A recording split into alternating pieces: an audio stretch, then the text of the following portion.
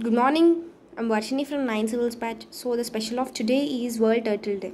Well, the first thing to know is that turtles and tortoises are not the same thing.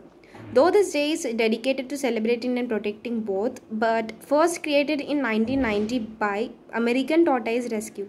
World Turtle Day recognizes that some species of our hard-shelled friends are suffering and almost on the edge of extinction due to environmental hazards, issues with hurting and harvesting of their eggs. American Tortoise Rescue was created by Susan Tellem and Marshall Thompson, a married pair of animal activists who have a particular passion for tortoises. We all have to have something that drives us in this life, and for these two, it was bonding over animal rights activities work. Don't think these two are just closest hippies with an overwhelming adoption for all this shelled and scaly.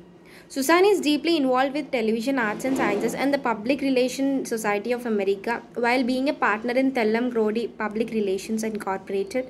They organize charity collections and works around the world to help protect these amazing critters. Created Turtle Day to get everyone involved and spread awareness of the shrinking habitat and declining number of these sensitive creatures. So, uh, what is the difference between turtles and tortoises? Although they are both reptiles, the main difference between the two is that turtles live in the water at least, at least some of the time, while tortoises live on the land. Because they live in the water, turtles have streamlined and mostly flat shells, while tortoises often have larger and more domed ones. Our tortoise friends can also live longer than their reptilian cousins. Tortoises can live over 300 years, although their average lifespan can go up to around 150 years.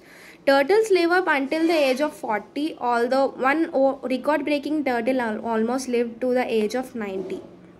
Okay, thank you.